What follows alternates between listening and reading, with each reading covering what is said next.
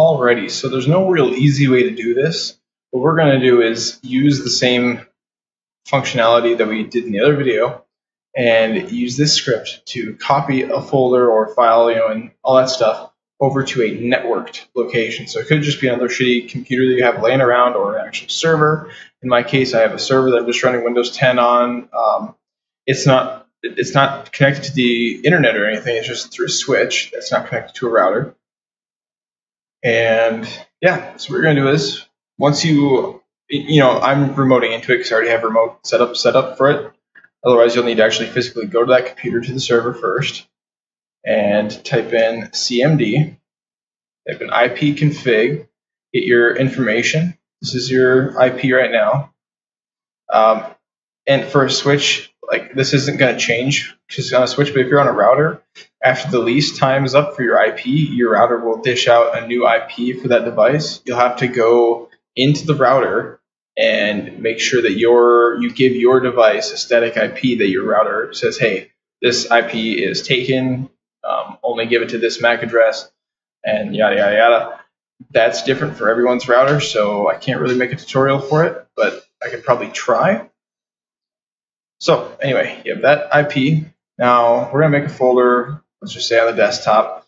We'll call this uh, test network share. You're going to right click that to share with specific people. And just because this is pretty much secure, just do everyone and give them read and write. Click share. Boom, there you go. So you'll copy that link right there. Now the next thing is you'll need to make sure that your account here has a password on it because you're going to need that. If you don't have a password, you'll have to set one up. It's very easy. Just go to user accounts. Actually, go to control panel because it's Windows 10 is fucky. So user accounts, the user accounts, click. You'll have to click manage another account first, probably. Um, then go create a. It'll say create a password, and then you go from there. This is your account name that you'll be referencing when we go to log into it. So now we'll go ahead and this is my main computer. It's a new computer. We'll go ahead and open up a new folder here. And we'll just go, oh, let's say, let's go to my PC. You can go add a network location. Next. And actually, something I forgot is you have to click network on here first, and you'll, it'll say network discovery is not on. We like to let this computer be discovered the network. Click yes.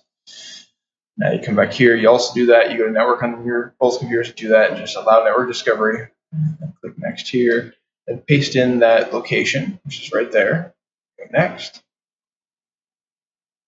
In this case, it's probably not going to be able to see that IP or that, that name of the computer. So we're probably going to need to grab the IP address.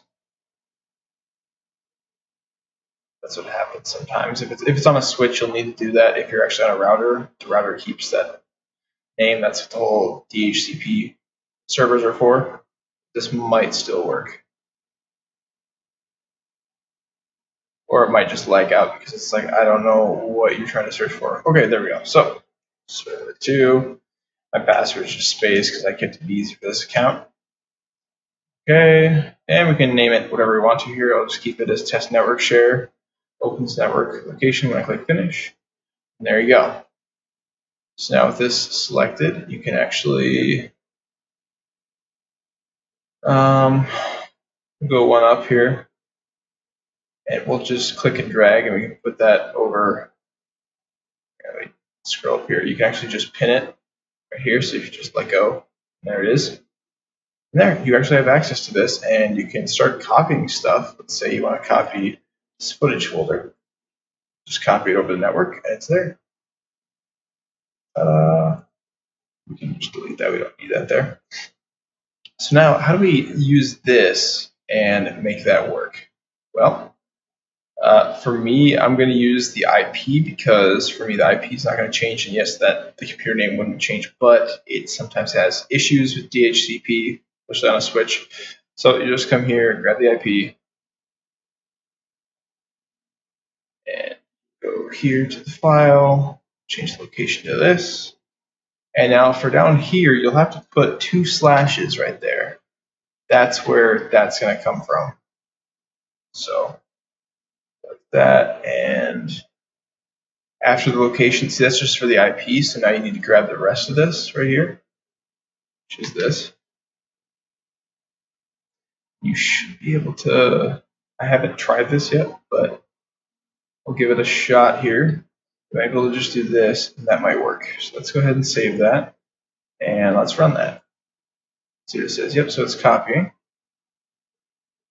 Yeah. There you go, first try. Copying the information.